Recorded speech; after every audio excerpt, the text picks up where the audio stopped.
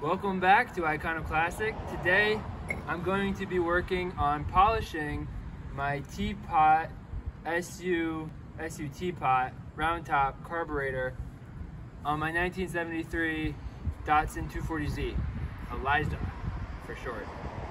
Um, so to get it this clean, you know, uh, as as aluminum ages, it gets all corroded. This white chalky nonsense builds up uh, as the aluminum itself corrodes. Uh, that is the corrosion, as it, what I meant.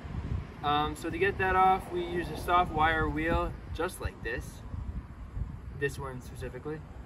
Um, and, you know, a lot of brushing and wire wheeling, soft wire wheeling. Make sure it's not too aggressive. It'll just gouge right into the aluminum. Uh, I use different degreasers to clean out the insides make that all nice. And now I'm ready to use a couple, uh, you know, a few step process to polish them. Uh, first, we're gonna use aluminum brightener. Comes in a spray bottle. Spray it on, leave it on for a couple seconds, and then just kind of scrub it around with my handy little scrubby Scotch-Brite. After that, you wanna wash it off and make sure you wear gloves because this stuff is really caustic. Make sure you don't get it on your clothes or anything, your skin uh, neutralize it with water, and after that, we're going to wire wheel it again. Um, the brightener brightens it, and the wire wheel will polish it. After that, the final step is to coat it with an oil in order to, you know, take it out, you know, so it doesn't continue to corrode more and make all your work for naught. Without any further ado, I'm gonna get started. Gonna start off with the aluminum brightener, just, you know, spray it around. And wherever it sits is where it'll it'll react with the aluminum. If you like miss a spot, that spot will remain a little island of tarnished aluminum. Let it sit for about 10 seconds. You can fast forward to this part. So I started smearing it around and using the Scotch-Brite to really lift up the uh, well dirt that's stuck on as well as working it into and polishing I don't know what the words are the metal the aluminum. And there's already I can see a huge difference. And that's science for you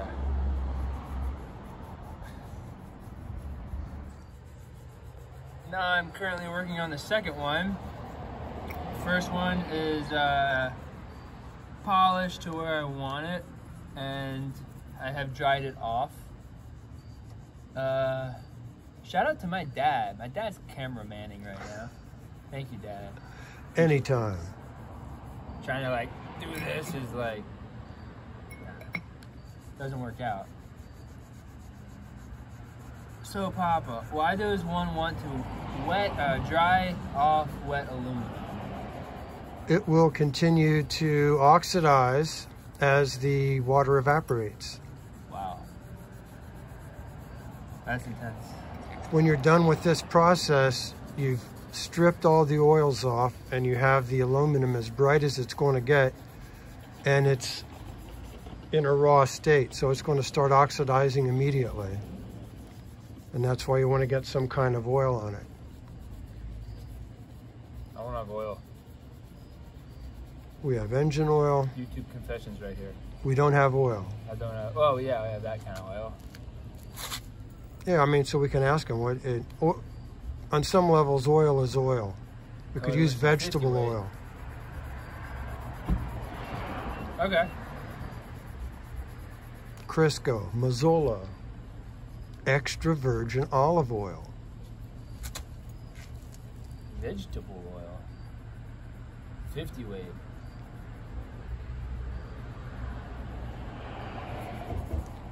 Yeah. Yeah, in the old race cars, they used to use castor bean oil. Wow. And you For could the... smell it when they ran them. Castor oil, yeah. Ah. Disaster averted.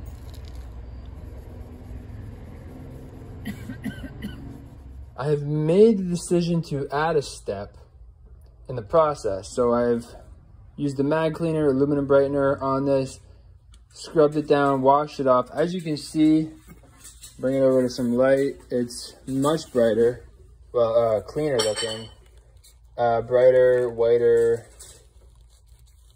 Um, and so now I'm going to be using this, it's a brass polish, but you know, aluminum polish, whatever polish uh, you want.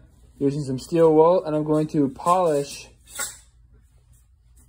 the the, uh, the teapots like such. So this is the teapot after using the brass polish on it. So as you can see, it's already pretty shiny. Looks really good, especially in the light. Now I'm going to use a soft wire bristled appendage thing on a drill. Wire wheel is fine, soft wire wheel. Um, use this to polish it even more and make it even more shiny. I'm gonna, here, that's a, I already started. You can see that's the difference. That's the shiny part.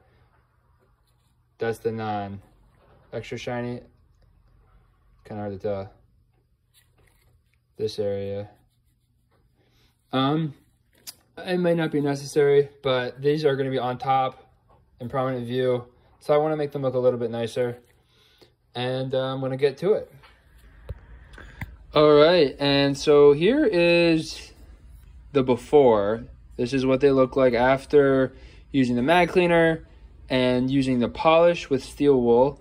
And over here, this is the one that I used a soft bristle uh, wire brush on, wire wheel as it were. Uh, as you can see, it's like much shinier. It's not 100% even. I think I'm going to try to do it some more and even it out, make it more uniformly shiny. But, um, you know, almost almost mirror-like, I would say. You know, getting there, definitely getting there. Uh, so I'm really pleased with that process. That's really cool make sure again that you know you're using a soft bristle, soft, uh, a soft, softer wire wheel. I started off with one too strong, too stiff. You can see I have some scratches, some stuff that I need to take care of. Um, but yeah, that's that's the process. Uh, next up, I'm going to use. I have to pick it up actually, but I'm going to use uh, some different treatments to seal it up and keep it from keep it from what's the word keep it from you know corroding and yeah get all chalky and nasty again so that is that one i'm going to continue on the other one and then you know i guess on another day i'm to have to pick up that stuff to seal it up with all right and here we have the finished product. It looks really good. Uh, certainly a lot nicer than it did. Um, so, we, you know, we went through, did the wire wheel, used mag cleaner, polish, repeat as needed.